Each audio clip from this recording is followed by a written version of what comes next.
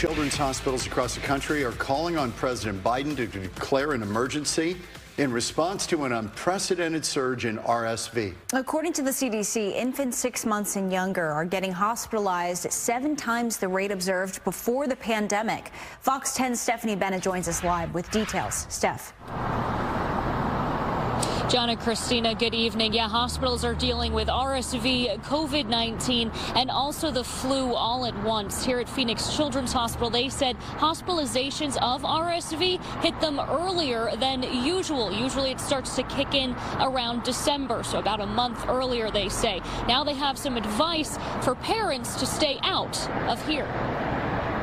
We are definitely seeing higher number of cases of RSV illness earlier in the year than we typically would expect. Seasonal flu activity is soaring across the country, and healthcare systems continue to feel the strain. Hospital beds are filling up. Nationwide data from the U.S. Department of Health and Human Services shows that more than three quarters of pediatric hospital beds are in use. That's up from an average of about two thirds over the past two years. So, predominantly, we see children coming in with symptoms of cough.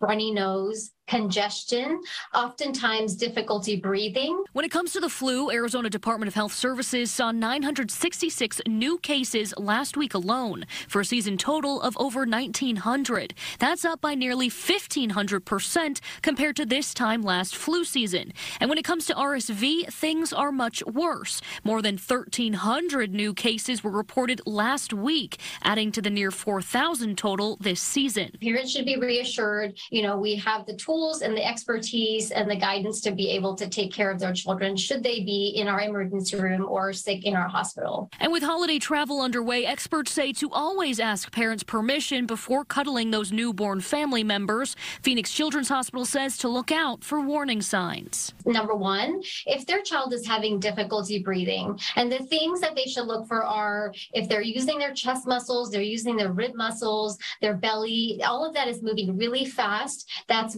one one, sign of respiratory distress. If their lips or mouth is turning blue, that's an emergency. And then if you have a child that's younger that's having days of persistent high fevers, that would be a reason to contact your pediatrician as well.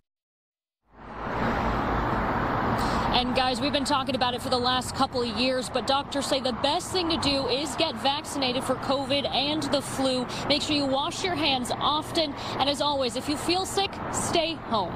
Reporting live tonight in Phoenix, Stephanie Bennett, Fox 10 News.